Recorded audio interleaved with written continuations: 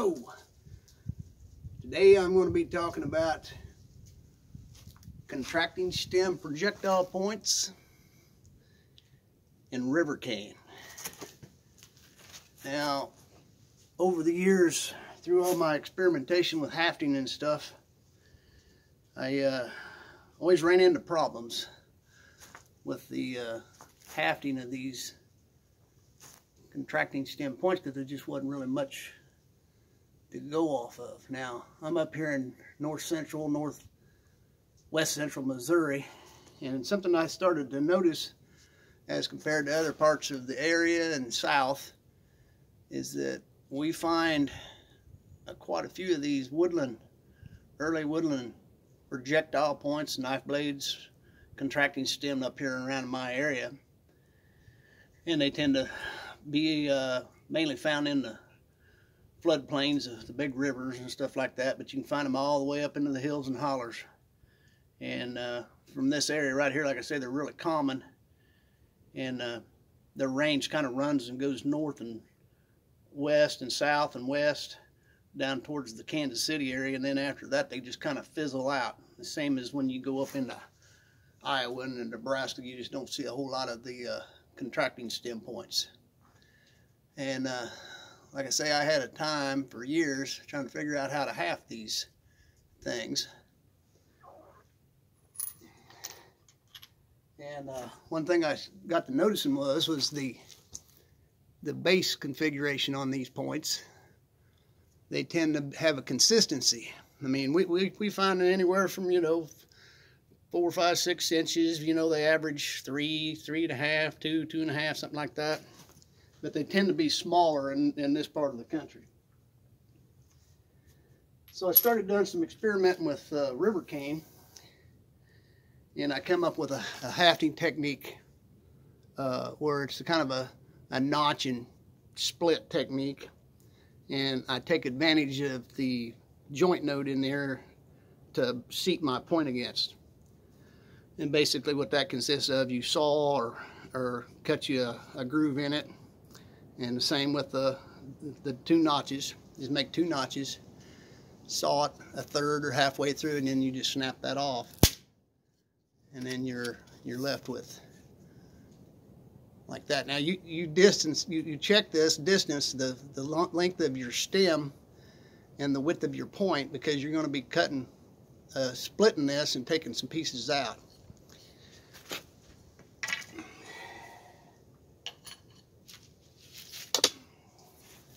So, in order to split this, you can do this a number of ways. Now, I either use a, a nice flake wedge and you shove it in there and it'll split, and the split will come down and stop at this notch right here. Uh, I also sometimes use a wedge to get that to split.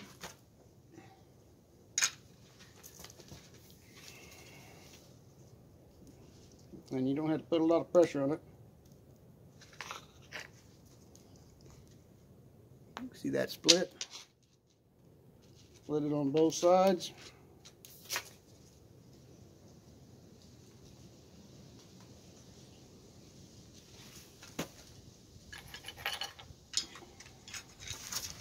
And then most gen generally I'll take it, I got a, I'm just using a antler tine here, and you pop that piece out. Like so. And it gives you you look down in there and you can see the the socket. I'll do another one of those. Doesn't seem like I ever have enough time when I'm doing these videos and I always leave stuff out. And here's one that's already been split. You see the, the two notches. And just flip those out. This is actually a pretty slick trick just to show you how that's done and then of course you just take those off. But you, you count the thickness of your point and the length of your stem because your stem is going to seat down into the uh, base of the joint of this river cane.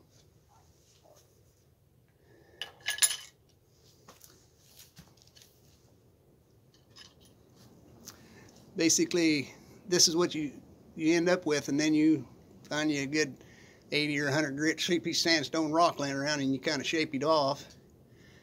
And uh, I'm kind of cheating today a little bit. Because the wind's blowing I don't want to start no fire and burn the country down. I find my lighter here. Here we go. And river cane is kind of a cool deal because it kind of acts like plastic a little bit. And you can heat this up, and this is what I heated up over open flame to bend the kinks out of straighten it up, and what have you. But you can just add a little bit of heat down there and then bend those pieces together.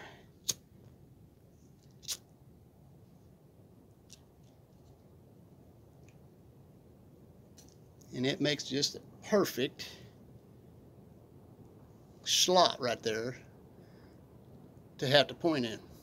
And like I said, you can bend kinks. This has got a little bit of a bow to it. And this is just a demonstration piece, but you can heat this right in this section right here and it'll, it kind of almost like melts like plastic. You can bend that out of there.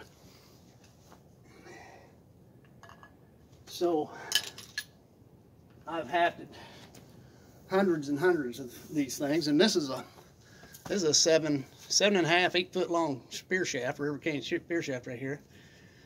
Uh, this is my main go-to shaft right here. And this type of haft fits so perfectly snug in there that, I mean, you could almost get by without doing anything, anything else to that. I mean, it's like hooked in there. I mean, it's snug.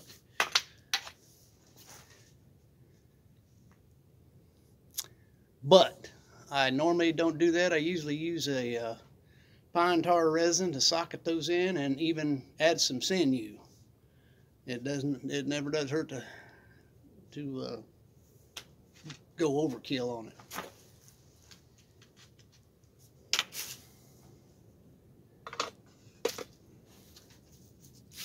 Also, you can go down small. This is a, a smaller diameter piece of river cane. And these things, I mean, they are in there without, before you even glue them. Now on my pine resin, I do it multiple ways.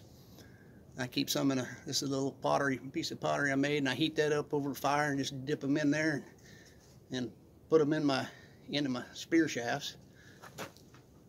Also keep little glue sticks, they're kind of handy. Here's my favorite atlatl. Made out of a buck rub, but I keep me a little stash of pine resin epoxy on the end of that, just in case. Like I say, you find a lot of these little contracting stem points. Now this could have been worked out some. Uh, here's a little doodad that's broke and it's a type of a tool, but the the tang on it is extra small. And that's something else that around my part of the country you, you see is a lot of these really small tanged little uh, contracting stem points. And they just so happen to fit really nicely into this smaller, these smaller cane shafts. This here possibly a exhausted blade of some sort. But I mean, that thing is in there so tight that, I mean, you could probably throw it and it'd be okay.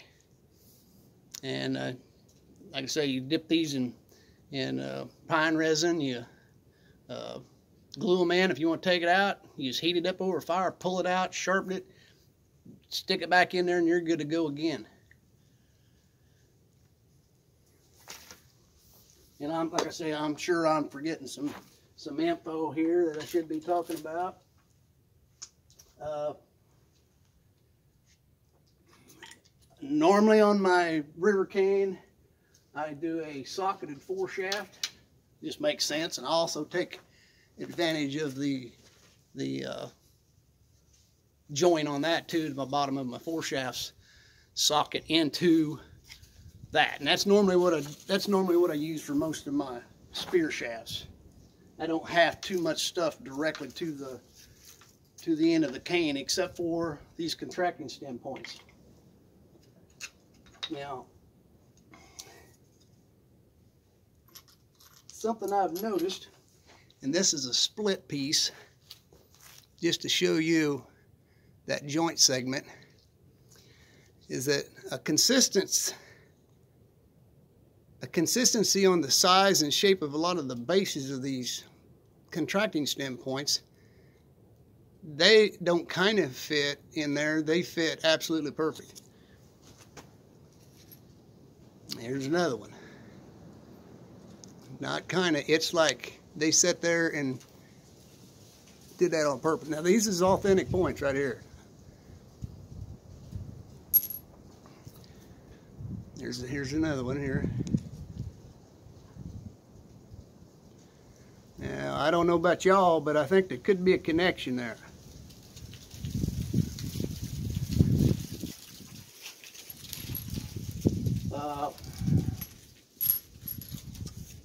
Yeah, uh, I'm up here in zone seven, up here in North Missouri, and it gets a little cooler in the winters than it does down south, like in Kentucky and South, and a lot of them southern states where the river cane is really plentiful. But up around this part of the country, it, it's kind of, what I've seen, I've seen some that's trans, been transplanted, planted, you know, like from Kentucky and stuff, and, uh, you know, be here for 15, 20 years, and it, and it just appears to be stunted a little bit. I mean, it'll grow, but the diameter, actually all these shafts right here I have, uh, tend to be smaller than the stuff you get out that grows, you know, in the southern United States. Although it works, this would be about the max, maximum size, which is about a whole 5 eighths of an inch in diameter.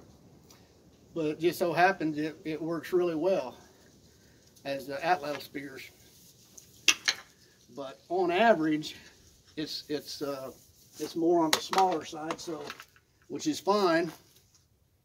And you you get these little small shafts, you know, half inch somewhere around there, and these work these work great. Can't get them as long, so usually I have to flat fletch them up, and these are like really super high velocity, close range type spear shafts.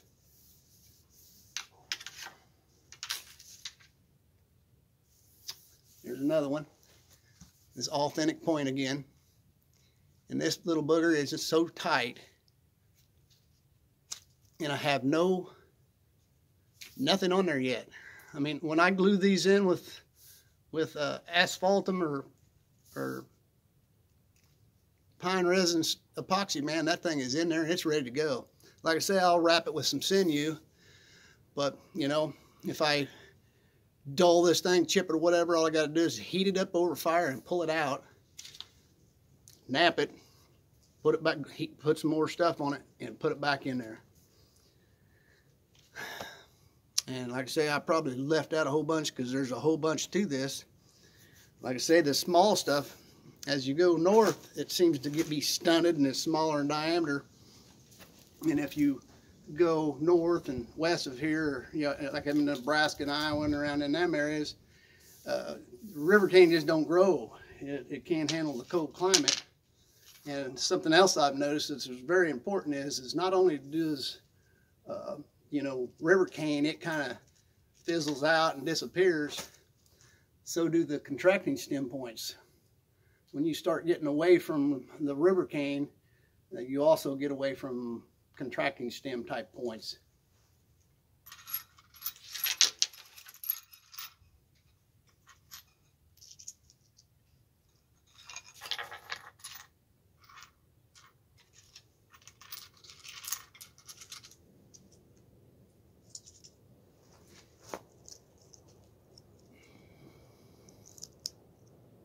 So I'm going to do a couple more videos stay, stay tuned and uh, we'll see what we can come up with. I'm going to talk some more about river cane and, and uh, some other things as far as atlatl spear shaft material and that. Hope you enjoyed.